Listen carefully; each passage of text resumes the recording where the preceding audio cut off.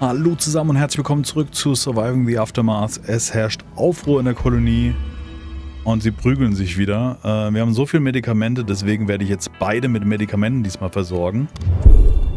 Und wir haben eine Zufriedenheit dadurch in der Kolonie. Das hatte ich ja schon mal gewählt. Das passt eigentlich ganz gut und ist ja besser, als dass wir hier irgendwie äh, einen bestrafen. So, du bist wieder heile und kannst auf neue Erkundungstour gehen. Du kannst sehr gut plündern. Stein lohnt sich nicht. Plastik haben wir auch genügend. Äh, ich würde sagen, wir gehen mit ihm ein bisschen forschen in den oberen Teil.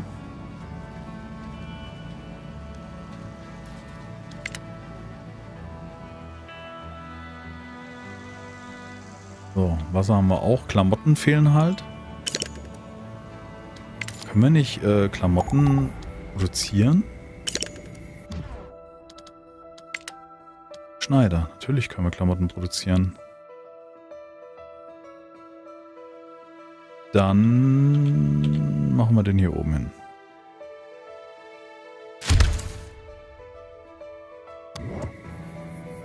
So, Spezialisten sind einsatzbereit. Die Lagerstätte ist leer. Okay, warte mal da. Du hast nichts mehr. Dich verlagere ich dahin. Du baust noch ab. Essen baut auch noch ab. Sehr gut. Spezialisten einsatzbereit.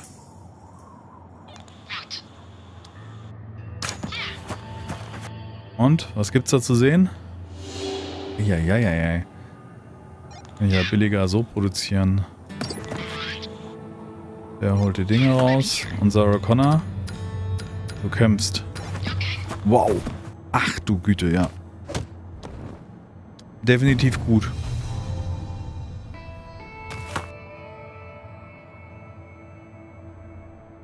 Ach, der ist direkt noch das nächste Banditenlager. Oh, Werkzeuge, elf Stück. Das ist ja richtig gut. Also insgesamt, der Schwierigkeitsgrad, der am Anfang so beschrieben war, da ist der Start einfach schwierig und die vielen Katastrophen und dass man halt die Brunnen nicht überall hinsetzen kann, wo man möchte. Ähm, da die Brunnen halt auch noch keinen Nachteil haben, ja, weiß ich nicht. Ist es alles so minder schwer irgendwie.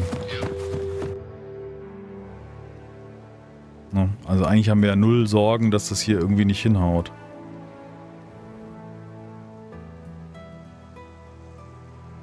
Der Schneider wird gebaut.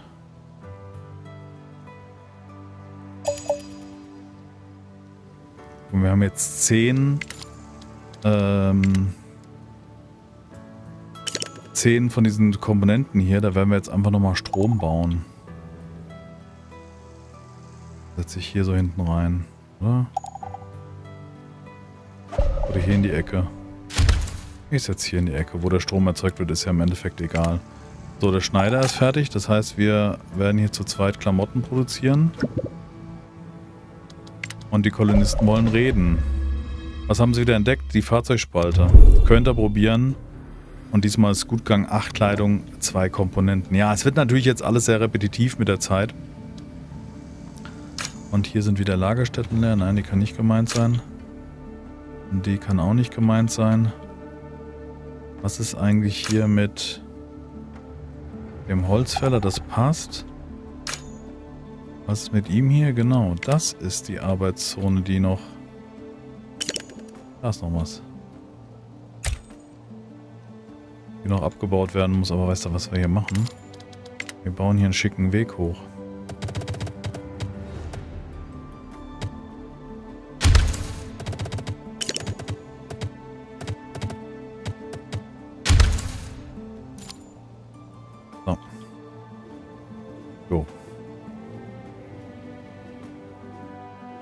Die Windturbine ist fertiggestellt. Jetzt haben wir nämlich 18 Strom. Forschungspunkte fehlen uns so ein bisschen. Haben wir denn hier oben irgendetwas? Da schicke ich auf jeden Fall Sarah Connor hin hier. Und ich würde sagen...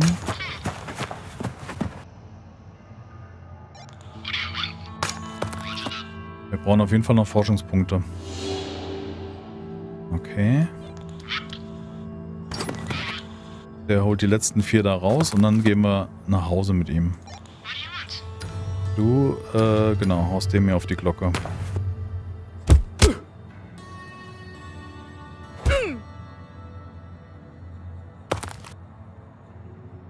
Jo, beim nächsten Mal ist dann auch gut.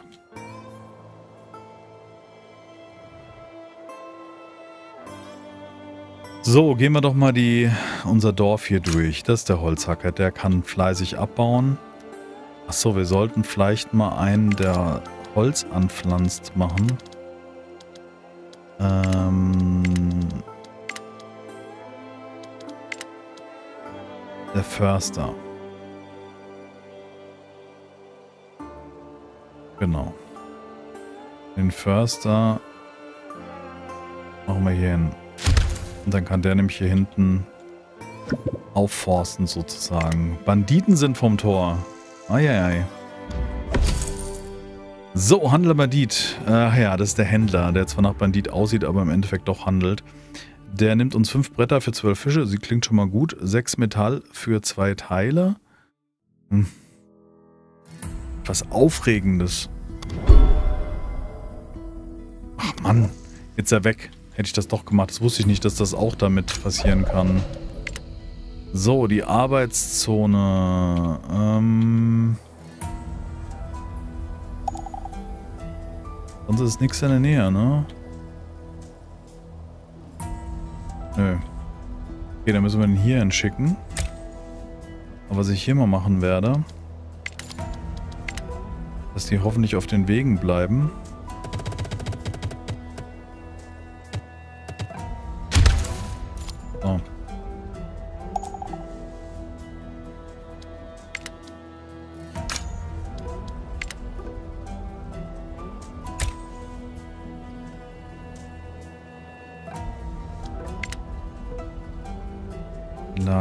Ist leer.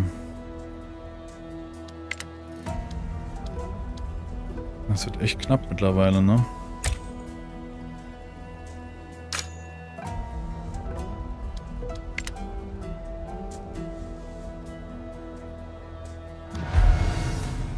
Radioaktiver Niederschlag kommt. Dann schicke ich den hier hoch und baue hier den Weg auch noch weiter.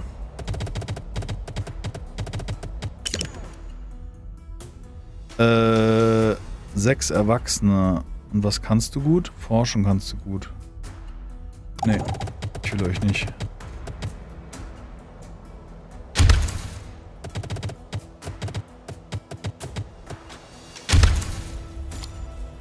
So, schauen wir mal, ob sie den Weg hier fertig basteln. Ach, guck mal, der darüber, der ist schon fertig. Es geht doch schneller als erwartet. Ja, radioaktiver Niederschlag und die Kaninchensaison wollen sie wieder jagen gehen. Dürft ihr machen und bringt zwei Wild mit. Hm. Radioaktiver Niederschlag. Wir haben aber...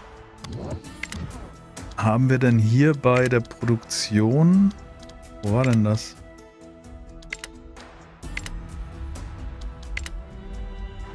Geschützte Pflanzen. Da haben wir keine 300 Punkte. Okay, wir brauchen Forschungspunkte. Dann können wir äh, nämlich die Gewächshäuser ähm, forschen, äh, bauen.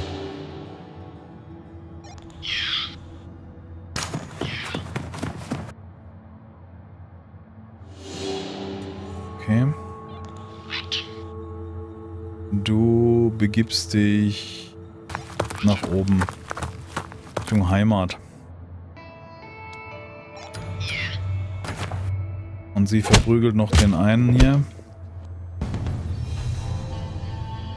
Was gibt's jetzt hier zu holen? Elf Werkzeuge, so nicht. So, Ertrag 18, da wurde gerade erst geerntet und hier wurde auch erst geerntet. Okay, das lohnt sich nicht.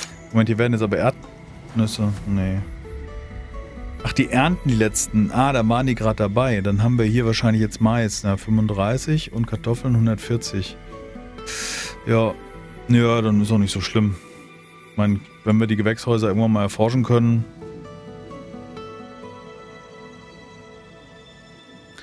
Aber ich denke mal, wenn die komplette Map aufgedeckt ist, wegen den Forschungspunkten, ne, das kriegen ja sonst keine mehr, So, du hast kein Holz mehr. Dann verdenken wir die Arbeitszone dahin. Und du weißt auch nicht, wo du Holz holen sollst. Und dann äh, hier unten so. Können wir hier vielleicht einen Weg reinziehen? Das mache ich jetzt einfach mal.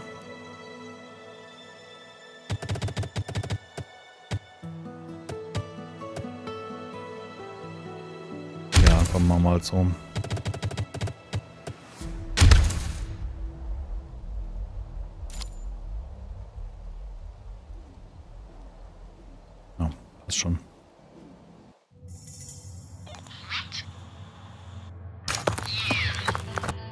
Forschungspunkte. Bitte forschen. Nein.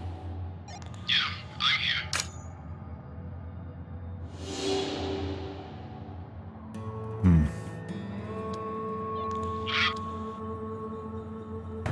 Da ist unten der einzige. Aber der ist so angeknackst, da will ich ihn nicht in die Gefahr bringen.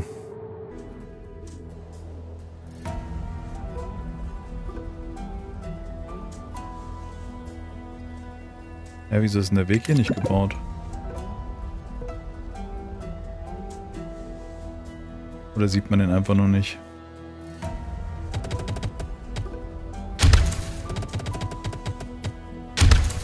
Jetzt sieht man auf jeden Fall. Ein Laster nähert sich, der Partybus. Was? 18 Mais? Wie viele Mais haben wir denn? 46? Nö. Sechs Komponenten. Auch das nicht. Kannst du vergessen, macht eure Party doch alleine. Da werden wir noch nicht mitpartien. Ja, also ähm, ich werde jetzt auf jeden Fall noch ein bisschen weiterspielen. Ich gucke mal, was, wie ihr das sagt. Oder ihr könnt es mal in die Kommentare schreiben. Ich meine, äh, wir haben jetzt schwer angefangen, aber ich finde es überhaupt nicht schwer. Also natürlich kommen öfters Katastrophen. Auch die Gebiete sind ein bisschen schwieriger zu bebauen, aber im Endeffekt haut es doch irgendwie hin. Und langfristig, ja, kommt jetzt wahrscheinlich gleich der radioaktive Niederschlag ähm, ist es halt nicht wirklich eine Herausforderung. Also ich finde jetzt die Map ist nicht schwieriger. Die, ähm, die, die Komponenten und Bleche sind genauso beschissen gesetzt. Also du sollst nach Hause. Und du Sarah Connor hier.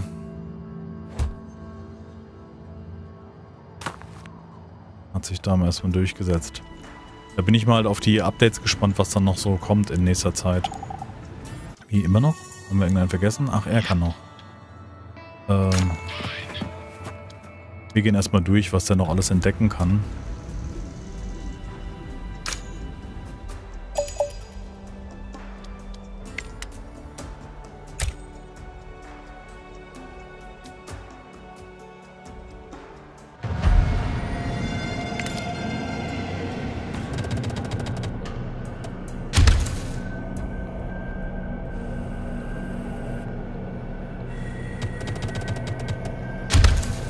Jetzt überall Wege.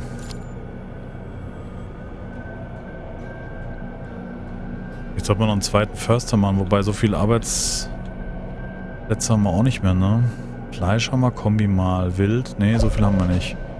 Fische könnten wir wieder noch einen zweiten bauen, nur an welcher Wasserstelle, an welcher nicht vorhandenen. Ah, da oben ist noch ein See. Weißt du was?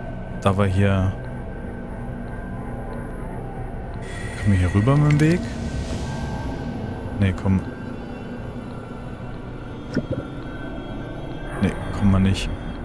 Aber vielleicht können wir hier vorbei.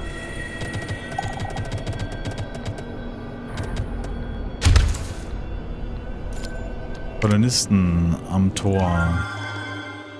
Äh, ja, ihr dürft jagen. Ihr habt nichts gefunden. Ähm, vielleicht können wir hier oben noch einen Fischer hinsetzen. Jo, geht auch. Nee, grün wird grün. Ah, Schwie.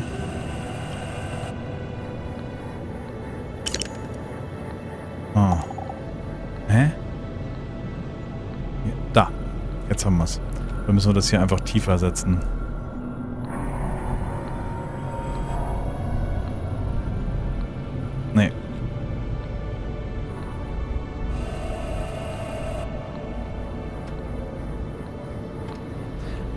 Okay, warte mal.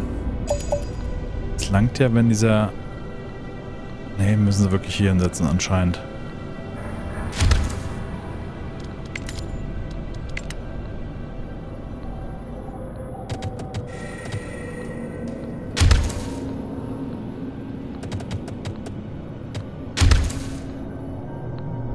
Na, sind ganz schöne Wege da hoch auf jeden Fall. Aber es funktioniert.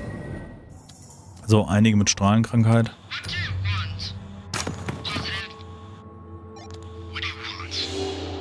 Entdecken sollst du. Banditen, Banditen, Banditen. Hier sind wieder Komponenten, die total gefährlich sind. Du gehst bitte nach Hause und lässt dich heilen. Und du aus dem eins auf die Ommel.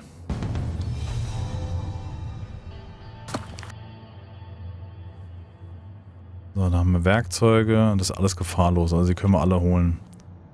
Allem die Werkzeuge sind auf jeden Fall interessant.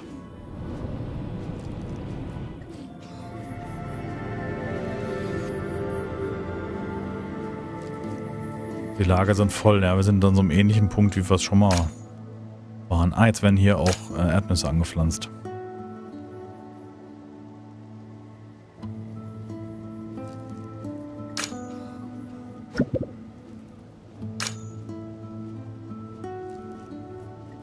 Mhm, Werkzeuge haben wir auch. So, der alte Bär, der in Kolonie vorbei ist. Probiert's mal. Wow, 29 wild. Das ist wild.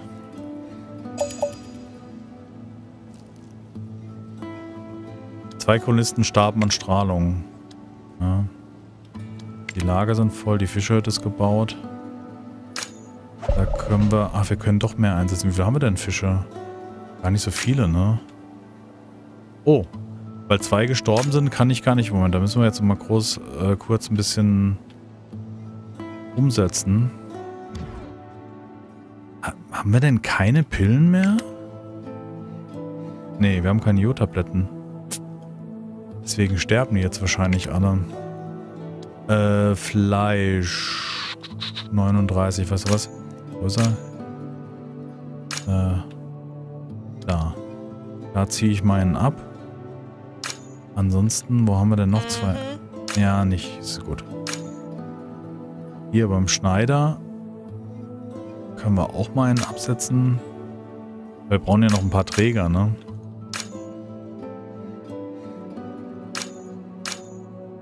Äh, wie viel sind bei den Ärzten eingesetzt? Auch zwei. Ja, die brauchen wir auch. Der Schürfzug für Bleche, da können wir auch einen abziehen. Da arbeitet auch jemand. Beim Recycler haben wir, wir haben so viel Plastik. Nicht egal, dann setzen wir die lieber bei den Fischern ein.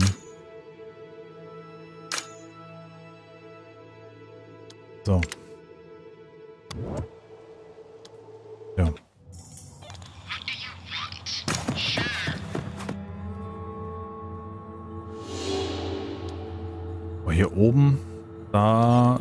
Schön was zu tun.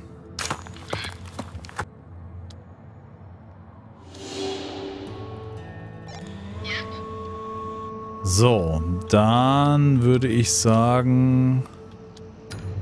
Zwei, drei, ja, wir gehen mit ihr hier hoch. Machen erstmal ihn, dann da, dann da und arbeiten uns hier so durch.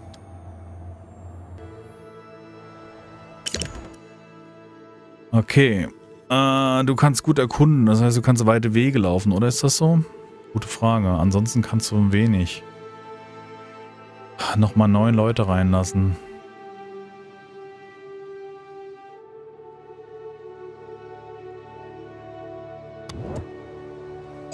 Machen wir. Einen Platz. Einen Platz.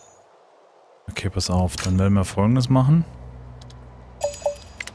Wir werden jetzt zwei Kulissen starben an Strahlung. Wir werden jetzt hier mal eine Hütte abreißen.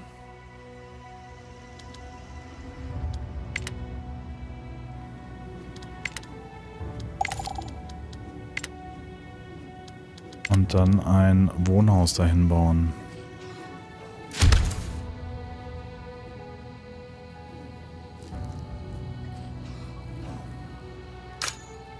Komm, dann werden wir auch das ausschlachten.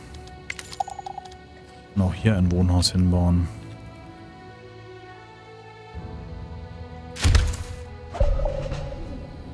Müsste eigentlich gehen, oder? Von den Materialien. Ja, easy.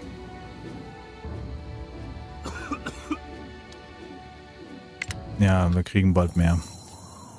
Wir kriegen bald mehr zu wohnen. So, wie geht's dir? Du geht's hundertprozentig gut. Das ist super. Dann kannst du nämlich hier unten noch ein bisschen schauen, was sich da verbirgt. Und der neue Spezialist hat auch ordentlich Wege. Dann kann der hier so ein bisschen...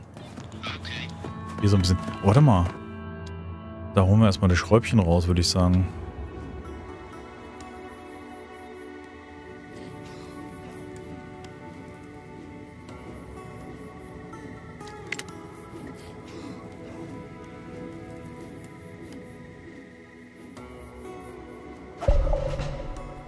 So, gleich habt ihr wieder ein Zuhause. Ich warte jetzt noch ein bisschen.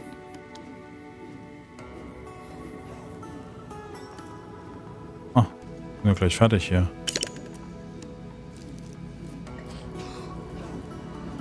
Sehr schön. Ein Sklavenhändler zum Ende der Folge. 20 Wild.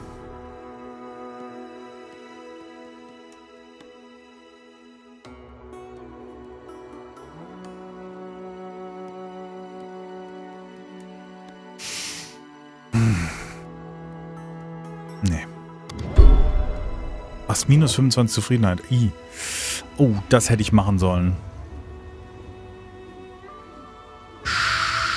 Schade, da waren schon zu viele unzufrieden. Das war nicht so gut. Naja, wir kriegen das auch wieder hoch, oder? Genau, was wir mal machen können, das machen wir jetzt zum Ende der Folge noch schnell. Und zwar, es gab doch hier Sachen, die die Zufriedenheit erhöhen.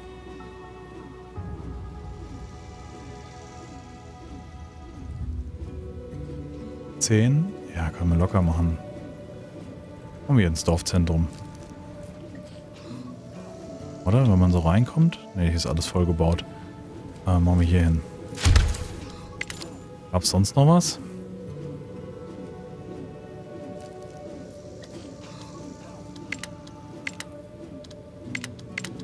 Ich glaube, das hält sich so in Grenzen. Kommen wir die Spezialisten noch schnell durch.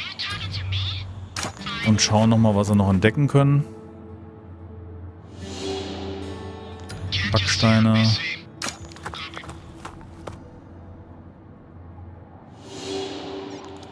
Überall Gegner.